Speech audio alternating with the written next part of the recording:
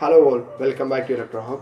Today I will show you how to establish wireless connection between two Arduino boards with SE8R01 wireless modules. SE8R01 wireless modules are working in the 2.4 GHz frequency range and also have a uh, transfer rate up to 2 MB per second. I got this product when I have ordered an NRF24L01 receiver, uh, but I got a pair of transmitter and receiver of SE8R01 uh, from Flipkart. So these things are sold in the same name, but they don't work with the same code. It took too much time for me for finding a working code for these modules. Uh, now I have made a working transmitter and receiver circuit with this SE8R01 wireless module. So let's see that. The pins of the SE8R01 wireless module is not capable of connecting to an Arduino board directly. So I have made an adapter for connecting the module directly to the Arduino board with a PCB and some header pins. In the transmitter section, I used four push buttons which can be directly mounted to the Arduino board. It is used for controlling the receiver. Instead of using an Arduino microcontroller at the receiver section, I made a circuit with an ATmega328P microcontroller IC. I have also attached a 7805 voltage regulator, an indicator LED which will turn on when the connection is established. I have also used female header pins for taking the digital outputs and analog outputs. Also, the wireless module can be attached to the circuit. Okay, now let's move on to the code. In the left side, you can see the transmitter core, and in the right side, you can see the receiver core.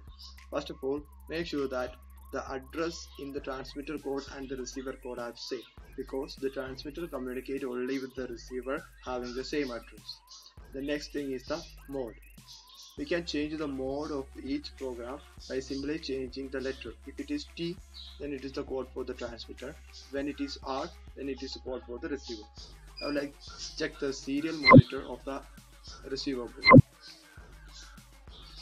See, this is the output of the serial output of the Arduino board at the receiver side.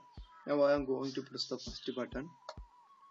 When I press the first button in the transmitter section, the first row of the receiver board changes to 1 and the second one like that, the third and the fourth. We can also press multiple buttons together. We can increase the number of rows uh, up to 32. Oh, so we can control up to 32 uh, rows from the transmitter. Now I will show you uh, how to how to control LEDs with this transmitter and the receiver. I have attached the control buttons in the Arduino board and the LEDs in the trans receiver section. So when I press the first button, the first LED will glow. The second button, the second LED will glow. And like that, uh, whenever I press the button, the corresponding LED will glow at the receiver section. And now the fourth button